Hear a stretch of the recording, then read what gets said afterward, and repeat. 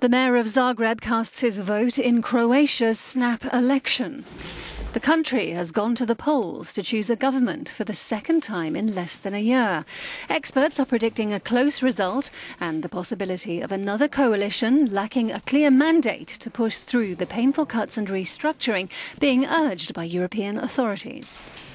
A Social Democrat led four party alliance stands to win around 60 of the 151 seats in the fragmented parliament.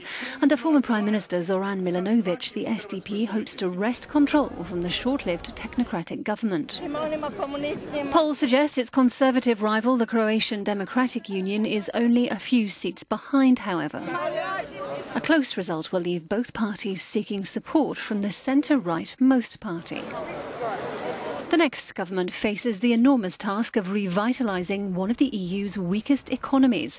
Observers say Croatia is dominated by state enterprises and excessive red tape is deterring much needed private investment.